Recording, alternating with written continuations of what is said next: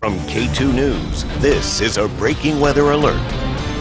We are under a breaking weather alert tonight.